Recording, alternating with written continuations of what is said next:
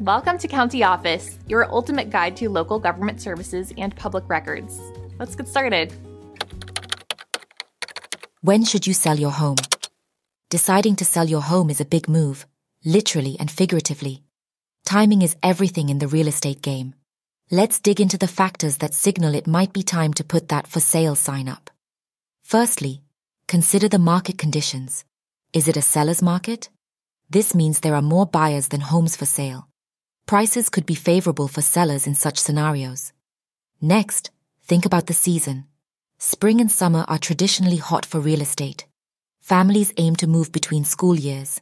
Your garden is also in full bloom, making your home more appealing. Don't forget about your home's condition. Have you recently upgraded or maintained it well? Homes in tip-top shape could fetch a better price. Life changes are also a cue. A growing family might need more space. Conversely, an empty nest could mean it's time to downsize. Financial stability is key.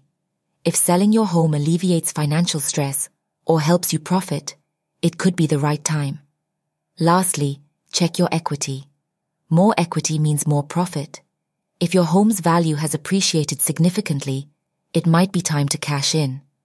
Remember, local government offices can provide insights into market trends and property values.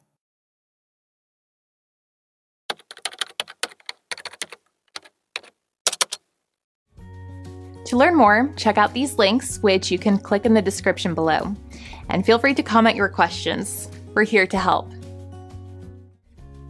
Thanks for tuning into our video. Please like and subscribe and leave a comment below. See you in the next video.